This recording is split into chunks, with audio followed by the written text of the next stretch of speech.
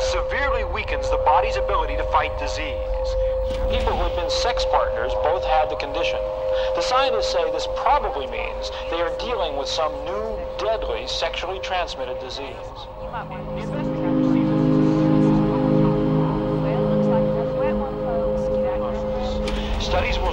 In some areas in Africa, almost one-third of the entire population is infected. HIV AIDS has reached global epidemic proportions, and there was no treatment. Fueling the AIDS epidemic.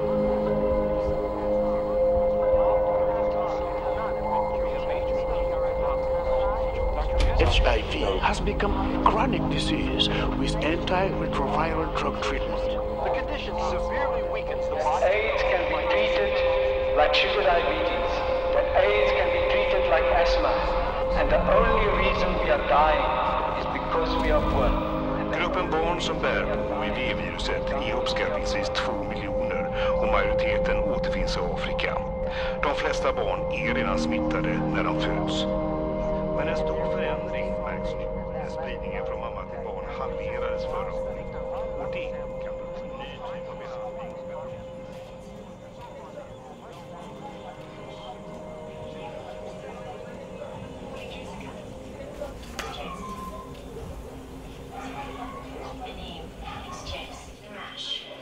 Thank you. So are you liking working with Paulie, Jessica? It's Jess. Sorry? My name is Jess. Oh, sorry. Jess? I want to copy. I want to do tennis boy. My name is Anna. I've been HIV positive since the day I was born.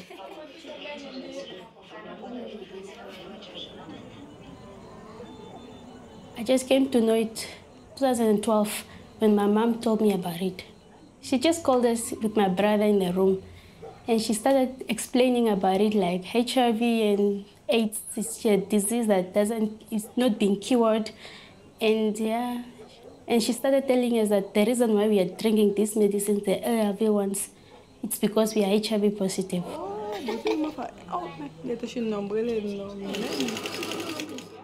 It affects my everyday life, like when I go to school and see the others that they're not positive and they're socializing with their boyfriends and all stuff. And then when they talk about HIV, they make fun of it. It's a game for them. It's because they don't have it and they think they will not get it. That's how they take it. And looking at myself here, being positive is something else. It really affects me a lot.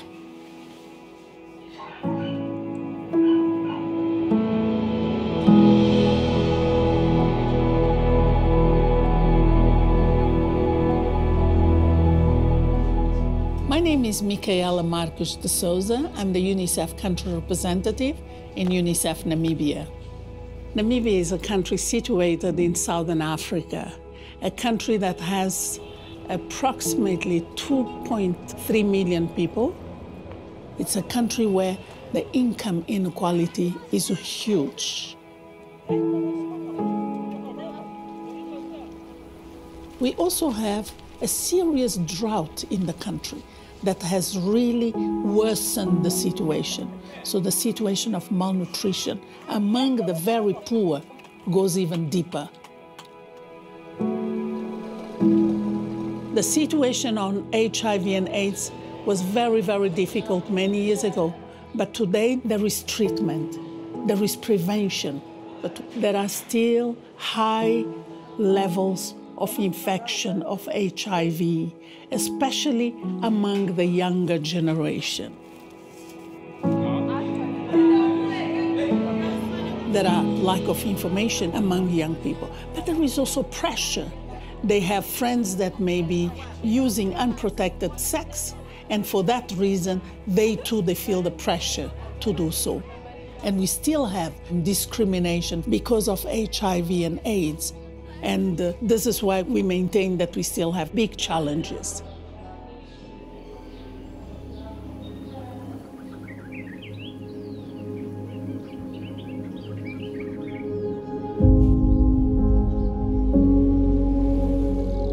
Name is Nena Greiner. I go to Oshikango Combined School. Sometimes I intend to put myself in others' shoes, those that are HIV positive, and it scares me a lot. It's like every everyone you see on streets, is you just think about HIV. And it also scares me to get into a relationship with a person whom I don't know the status. So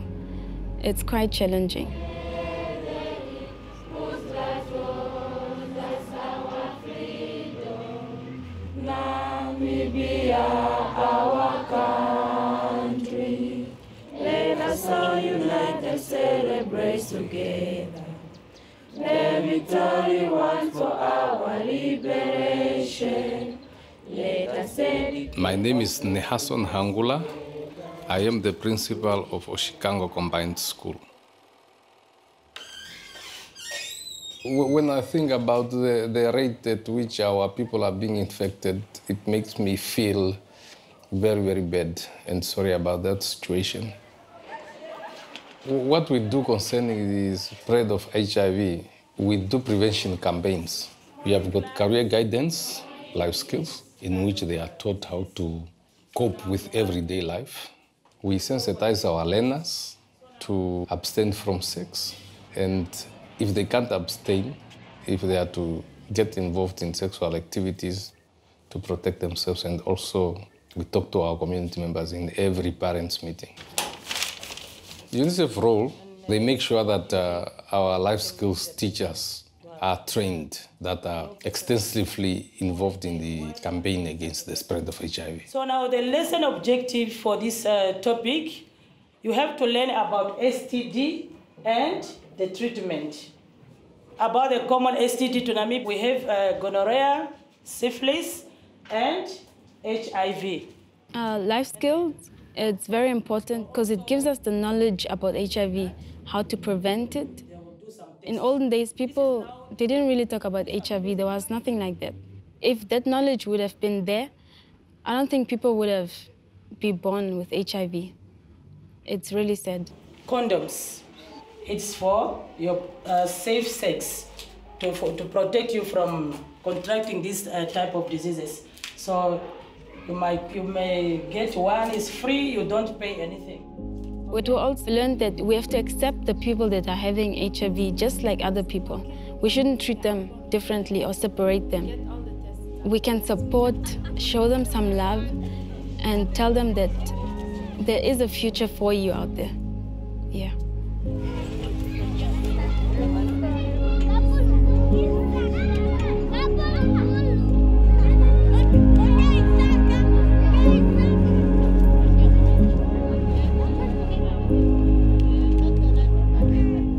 The Life Skills program, they make them happier because they interact every day, they learn about everyday interaction, social life. This is very important because it will keep them healthy and it will keep them in school. It is very, very important to Namibia as a country because once we have got a healthy nation, then you can talk about uh, development. I think it's very important that UNICEF is involved in this because without them, it couldn't be possible to have life skill at the school. I'm aware that there's a sickness out there that actually has no cure. Once I got that knowledge, it really opened up to me and it changed my lifestyle.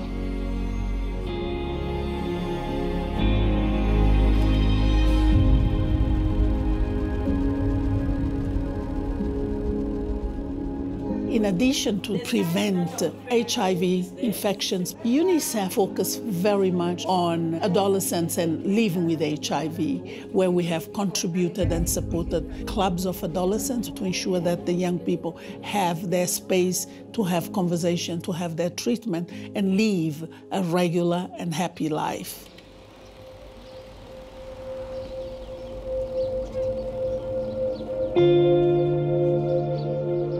HIV positive is something else. It makes you feel like it's the end of the world, but then it's not. Yeah.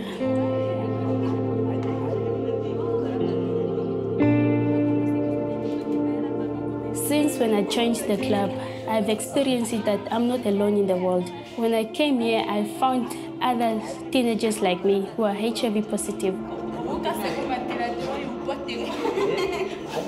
And so from there, I've started like saying, no, let me just be brave for myself, for my family even. That specific person will just live a normal and productive life like any other person. That's why, for now, HIV is not a death sentence because people are on ARVs. Any addition, Anna? Question. Yes. You say that HIV AIDS is not a death sentence. Yes. But uh, looking or just hearing from stories about Yes, it is important that there's, these clubs continue and they exist because it helps other kids that they are out there and then they'll be encouraged to, to join the club and then they say that it's not the end of the world. Other citizens for tomorrow. That's why we would like to see you smiling. We would like to see you healthy. And we would like to see you Or the changes that I want in Namibia is that people get educated about the about HIV and AIDS and then they should take it serious because it is a serious thing.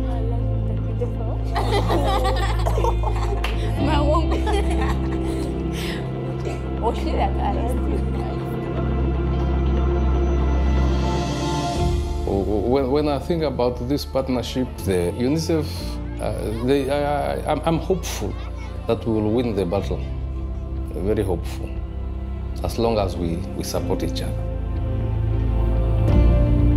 No child should be left behind in Namibia. And we still have many children in Namibia that are being left behind because we lack all the resources to make a difference.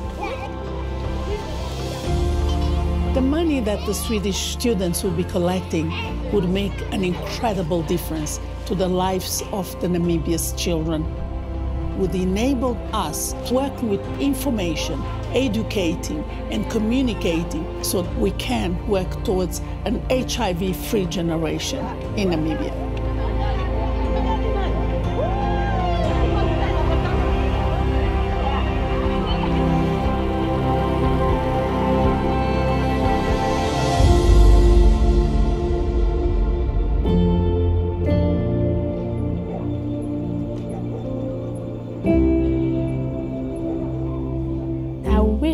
The good days I will talk about it and the whole world will know about it.